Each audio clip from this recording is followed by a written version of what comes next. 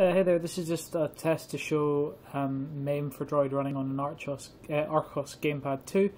Um, sorry about the crappy quality of this. Um, my decent camera is out on rent at the moment, so I'm just using my phone camera.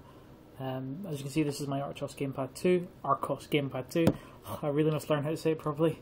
Uh, and here we go. So I'm just going to load up um, MAME4droid. And uh, we've got two options here. We've got the Neo Geo BIOS file and Metal Slug. So uh, as you can see, Neo Geo for uh, MAME4droid automatically um, registers the Archos Gamepad 2 already. So just select the game you want.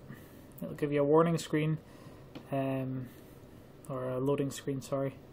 The first time you run it, it, will give you a warning screen saying if you do not own this game, then stuff happens. There you go.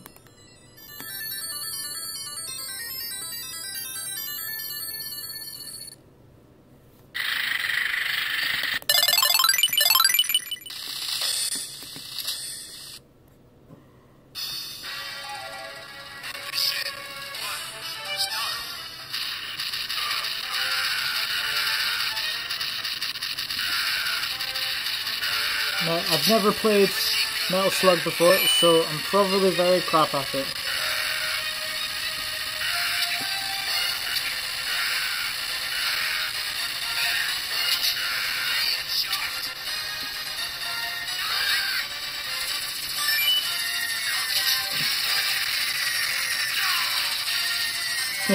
Case in point.